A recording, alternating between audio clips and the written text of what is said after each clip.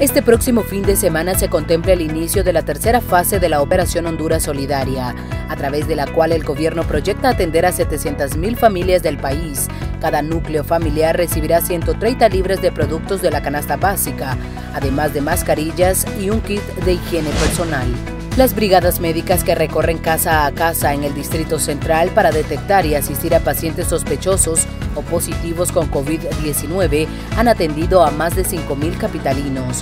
La iniciativa del gobierno del presidente Juan Orlando Hernández ha recibido el respaldo de la población.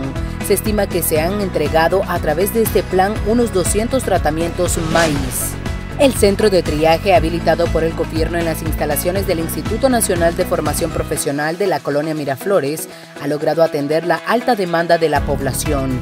Esta área que fue aperturada para captar a pacientes con síntomas de COVID-19 y que funciona las 24 horas del día, posee tres zonas de ingreso, 12 áreas de atención médica para diagnóstico clínico y 7 cabinas para insufado.